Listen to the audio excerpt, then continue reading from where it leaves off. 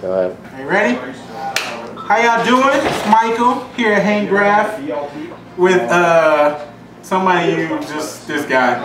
But here we got a brand new truck to me. Great deal from Ron. Ron helped us out so much. Him and his bright shirt for the day was awesome.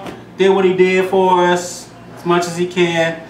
So if you want to come get a new car, you want to come get a car, you should try Hank Graff here in Davison. All the staff will take care of you.